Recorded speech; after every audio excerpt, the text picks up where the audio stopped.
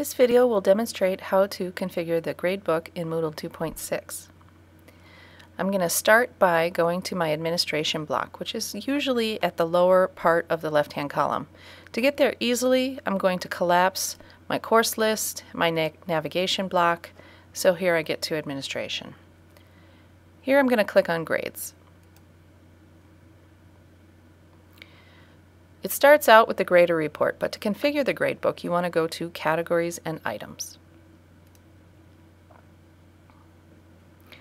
Now I'm using a sample syllabi that I got from the internet, and in this sample syllabi, we have a very simple grading scheme. We have two exams, each worth 100 points. We have two exercises, each worth 50 points, and then a final exam. All of this adds up to 400 points. So let's put this together in Moodle.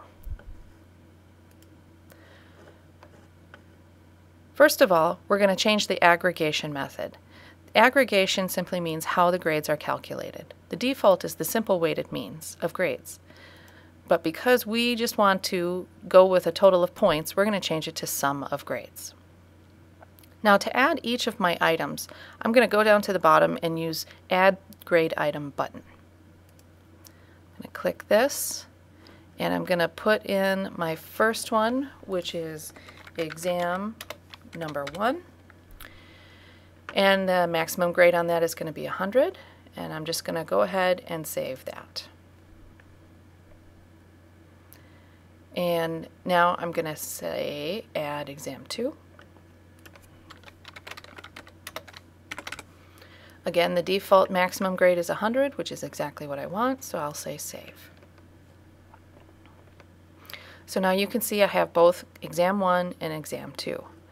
We go back to our syllabus, we also need two exercises and then a final exam.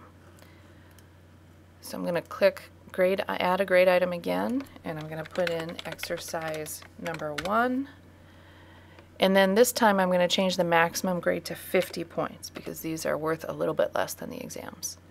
And I will say save. And I'll do the same thing again for exercise two. Again, making it 50 points and save. Finally, I need to add the final exam. One more grade item. I'll call it final exam. And that is also worth 100 points, so I don't need to change that, and I will say save.